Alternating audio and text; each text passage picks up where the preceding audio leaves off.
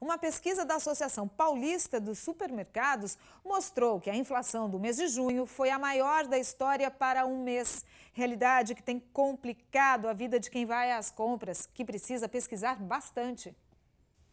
Fernanda não sabe mais o que fazer para tentar economizar na hora de fazer compras. O pior, o leite e o frango, que são dois dos itens que ela mais consome em casa, foram os vilões da alta dos preços nos supermercados.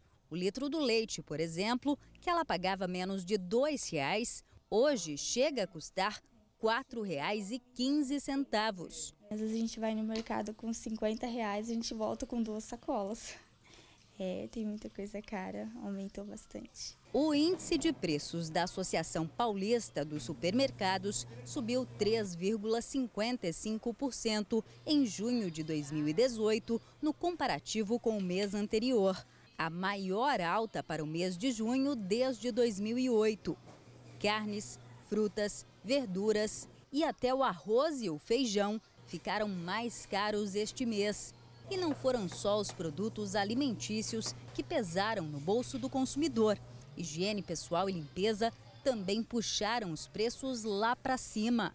Aí eu acho que está bem caro. As coisas, uma pelas outras, tem, tem diferença. A gente vem com. leva bem menos coisa e gasta mais. Então, quando vem fazer compra, como é que? É o essencial.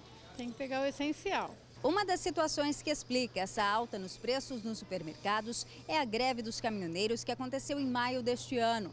Tanto o desabastecimento quanto as questões relativas à logística fizeram com que o consumidor pagasse mais caro pelos produtos de necessidade básica. Mas para o economista, a greve não é justificativa para o aumento no preço dos produtos industrializados, como higiene pessoal e limpeza. Nestes casos, outros fatores têm influenciado o reajuste. O governo entrou com os preços aumentados dele e não reduz. Os empresários, eles querem manter ao menos a competitividade e uma melhoria nos custos. E o consumidor busca a melhor alternativa. E nesse período em que o salário não acompanha a alta no preço dos produtos, vale a orientação do economista. Tentar pesquisar buscar sempre as melhores alternativas. Então, com, embora os preços estejam mais elevados, existem alguns fornecedores que oferecem preços melhores. Então, compete à pesquisa para reduzir esses preços, para reduzir o custo no bolso do consumidor.